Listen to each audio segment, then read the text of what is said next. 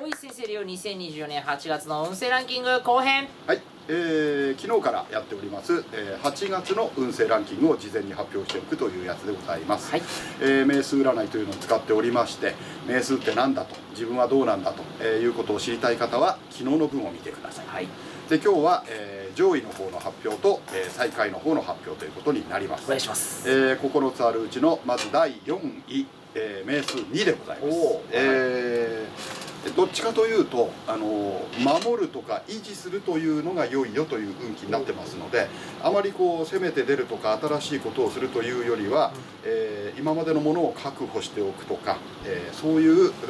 意味で、まあ、ちょっと積極性には欠ける運気なんですけども、えーキープする運ということで、えー第4位とさせていただきました。はい、えー続きまして第3位が、えー名数も3でございますえーとこちらはですねあの問題から逃げないで正々堂々と立ち向かうことで、えー勝利をつかめるという運気ということで、えー第3位といたしました。で、えー戦って、えー勝って、えーね、勝利を得られるって当たり前じゃんって思うかもしれないんですがなかなか、えー世の中そうそううまくいかないことが多いので、えー8月の名数さんの方は特に、えーとまあ、戦って勝てそうだよと。あんまりこう姑息な手段を使うとか逃げ,、えー逃げ回るとかではなくって、えー正々堂々と問題に立ち向かうことで、えー第3位の運気をものにすることができますよということでございます。はい、えー第2位名数9の方でございます。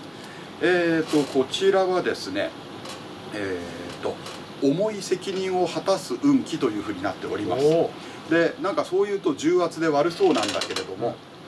やっぱりこれもそれをしっかり果たすことで、えーそれなりの見返りというものがちゃんとあるぞということなのでちょっとさっきの3位の方と似てるんですけれども、えーやっぱり逃げるなとあのもう真正面から引き受けてというかですね、えー本来自分に課せられてる責任をきちんと果たしますという運気それによって、え運が良くなるというか、まあ、成果が上がるよということでございます。はい、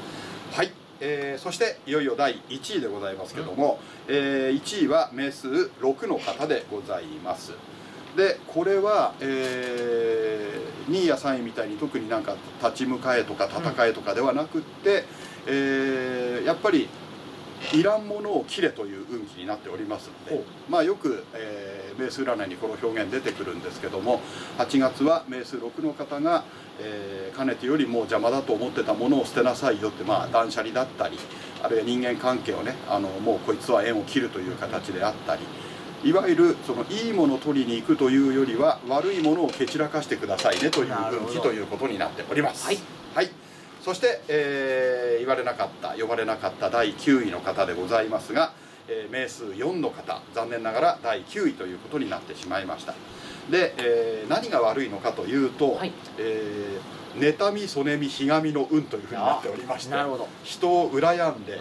で羨んでそっちに近づこうと努力すればいいんだけどなんか座り込んで文句ばっかり言ってるみたいな運気になりがちですので、えー残念ながら第9位ということになります。はい。羨ましいのはいいけどどうにかこうポジティブにというかね、うん。行動に移さないとダメだよということでございます。はい、えーこれではい。9つ全部発表となりまして、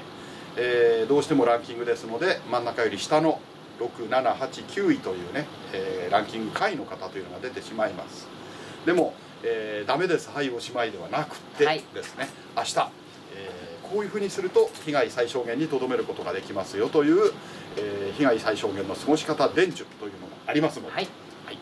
えー会の方はぜひともこちらをご覧いただきたいと思います、はい。明日6位から9位呼ばれた方は絶対に見てください。先生今日もありがとうございまありがとうございました。したそれではまた明日もご覧ください。また明日。奥村君のセリフを全部取ってしまいました。ありがとう